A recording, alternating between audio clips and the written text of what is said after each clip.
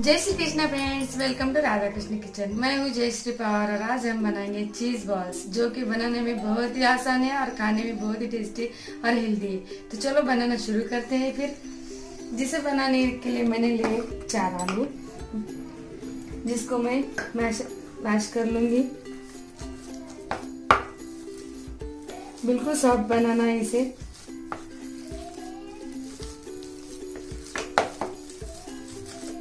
और इसी में हम हमारी सारी चीज़ें मिलाते जाएँगे। बस होगा चाहे तो आप इसे घीस भी सकते हैं, लेकिन ये ज़्यादा उबले हुए थे तो इसलिए आसानी से मैश हो गए।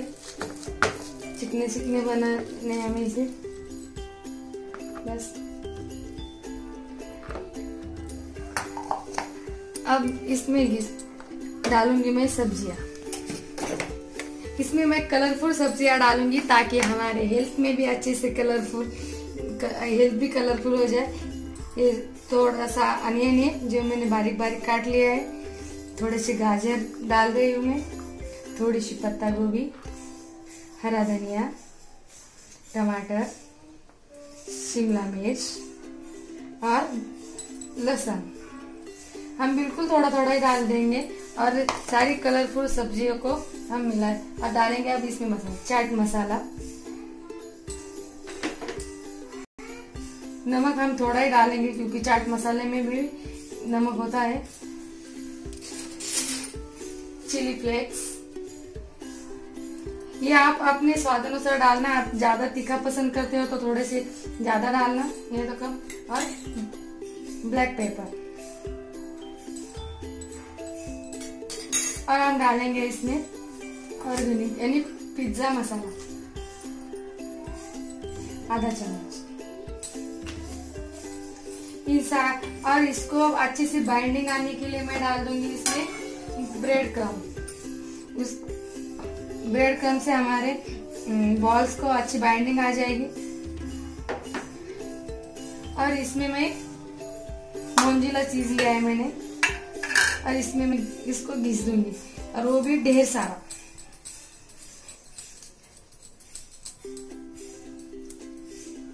वैसे मैं आपको दिखाने के लिए एक प्लेट में पहले घिसती हूँ मतलब समझ में आ जाएगा कि हमें कितना डालना है।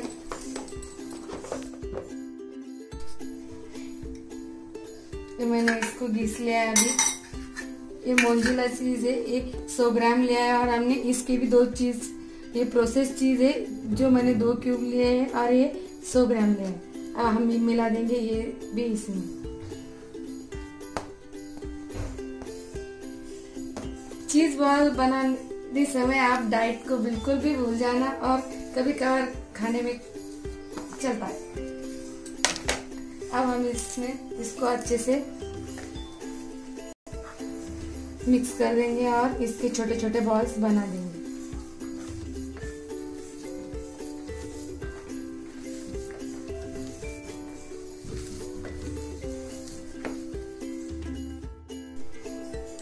इसको मैंने अच्छे से मल लिया है और हाथ को साफ़ करके लिया है अब मैं इसके बना दूँगी छोटे छोटे बॉल्स बस एक नींबू के साइज़ कर लेना। या आपको बड़े, लेकिन छोटे छोटे बनाना अच्छे लगते हैं। इसको ऐसे बनाकर हम रखते जाएँगे। बना लेंगे सभी।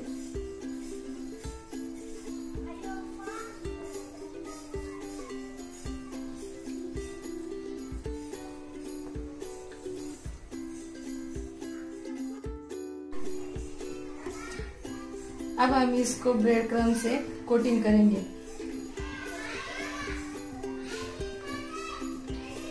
इसे कोटिंग कर कर और रखते जाएँगे।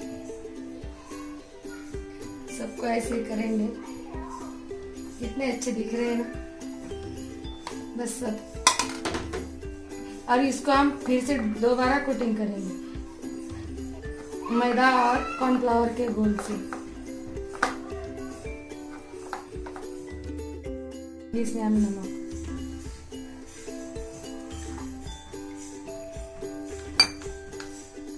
और इसमें बिल्कुल भी लम्स हमें नहीं रखना है, अच्छे से फेंट लेंगे और इसमें।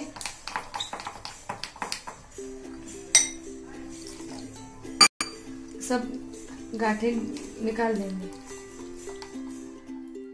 इसमें हम नमक।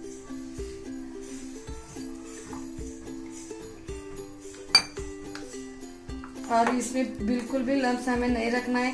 अच्छे से फेंट लेंगे और इसमें।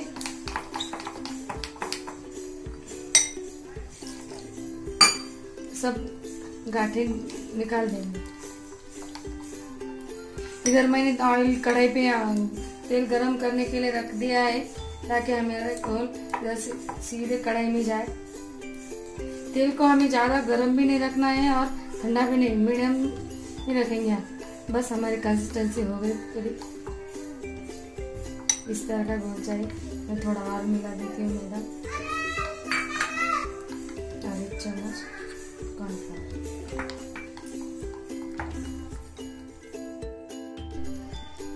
अब इस गोल में हम, हमारे एक एक बॉल्स को डालेंगे। फिर इसको दोबारा से ब्रेड क्रम की कोटिंग देंगे। बस ऐसे। फिर से उसको पहले जैसे करना है।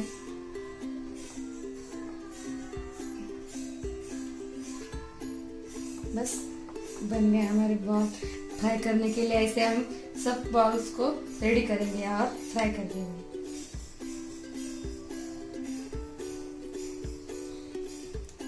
मैं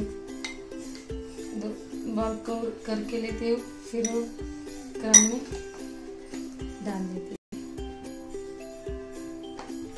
ये ब्रेड क्रम से फिर हमारे बॉल अच्छे से ऊपर से क्रंची और अंदर से बिल्कुल जूसी बनेगी। क्योंकि हमने इसमें ढेर सारा जो चीज़ डाला है ना, उससे बनेंगे जूसी और ब्रेड क्रम से बनेंगे क्रंची एक एक करके हम सब बना देंगे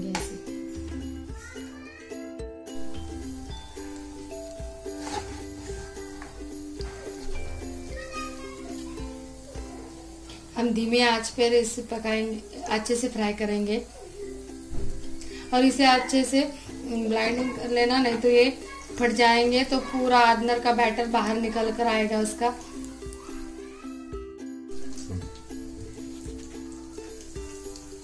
इसको एक एक कर फ्राई कर लेंगे, डाल के।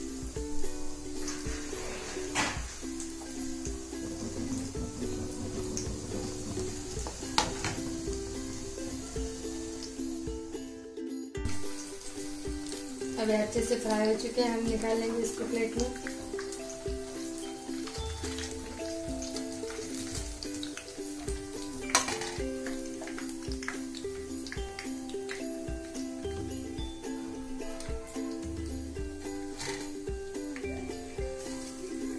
बस हमारे अब चीजी बॉल्स बिल्कुल रेडी है, के लिए। यदि आप अब हम करेंगे इसकी प्लेटिंग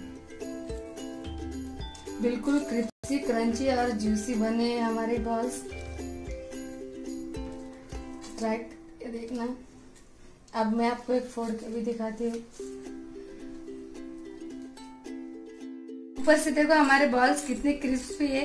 बिल्कुल ये क्रंची आवाज़ भी खनक भी उसकी आ रही है हमें। और देखो, अंदर से कितने जूसी मैं आपको तोड़ के दिखाती हूँ। गरम है ना।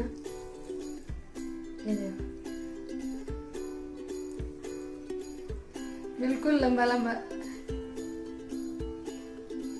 पिज्जा सॉस जैसा बना है हमारा चीज़ बॉल्स अब मैं आपको तोड़ के दिखाती हूँ, ये देखो, ऐसे। बिल्कुल यम यमी और जूसी बने हैं हमारे बॉल्स एकदम और क्रिप्सी अब हमारे बॉल्स अच्छे, बिल्कुल रेडी है खाने के लिए सर्व करने। और इसको किसी की ज़रूरत नहीं है। मतलब चटनी या सॉस के साथ में आप इसे ऐसे ही खा सकते हो। ये बहुत बढ़िया लगते हैं। आप मेहमान को स्टार्टर में या नाश्ते के लिए बना सकते हो। एकदम जूसी क्रिस्पी और वेजिटेबल से भरे हमारे चीज़ के चीज़ बॉल्स बिल्कुल रेडी है। यदि आपको मेरे लेकिन इसे बनाते हुए ध्यान रखना कि जब हम वो घोल बनाते हैं ना कॉर्नफ्लावर और मैदे का थोड़ा गाढ़ा रखना और अच्छे से प्रेस करके फिर कढ़ाई में छोड़ना। नहीं तो ये फूट जाएँगे और अंदर का बैटर पूरा कढ़ाई में फैल जाएगा। इसलिए आप अच्छे से ध्यान से बनाना और मुझे कमेंट में लिखना कि कैसे बने आपके चीज़ बॉल्स। यदि आपको मेरी रेसिपी अच्छी लगे तो ट्राई कीजिए लाइक कीजिए सब्सक्राइब कीजिए और कमेंट करना बिल्कुल मत भूलिए। हम फिर मिलेंगे मेरे नए रेसिपी के साथ। तब तक के लिए राधे राधे।